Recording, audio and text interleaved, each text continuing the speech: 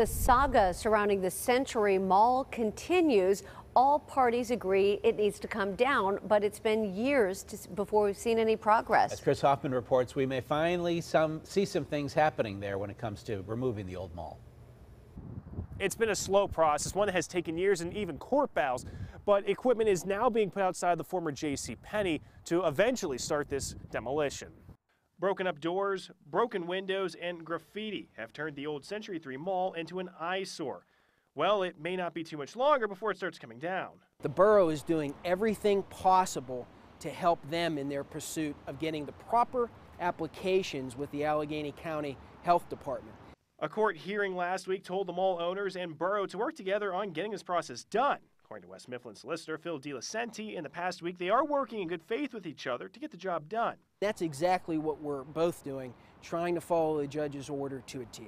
The West Mifflin Community Development Director says shelves are being removed from the old J.C. Penney store. More equipment from Niswonger is getting set up in the parking lot. An Allegheny County spokesperson says an asbestos survey has been done and none was found at the parking structure. The first part of the process, most likely, may be the parking garage facility. We're hopeful and we feel that this was a positive week.